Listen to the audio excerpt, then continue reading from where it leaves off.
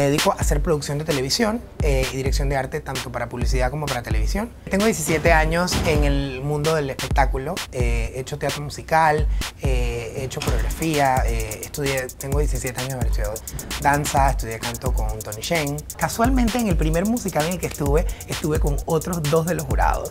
Compartimos escena. fue Grease en 1998. hice Grease con los otros dos jurados, que no sé si lo puedo decir. si lo puedo decir. Nosotros como expertos o como, los conocedores de, la parte artística, lo que vamos a ver es el talento, el desarrollo y yo personalmente voy a ver la combinación de los elementos, el todo. Yo lo, lo primero que le diría a todos los concursantes es que esto no es una carrera de velocidad, sino una carrera de resistencia. ¿Qué tal? Soy José Jiménez y soy uno de los jurados de Cantando por un Sueño.